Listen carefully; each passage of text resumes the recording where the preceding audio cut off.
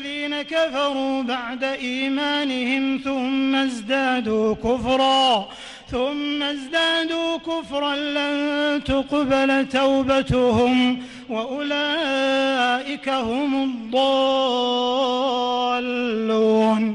إن الذين كفروا وماتوا وهم كفار فلن يقبل من أحدهم.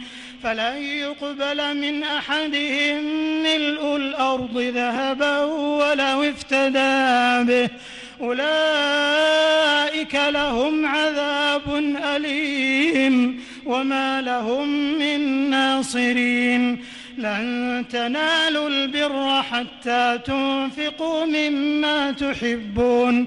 وما تنفقوا من شيء فإن الله به عليم.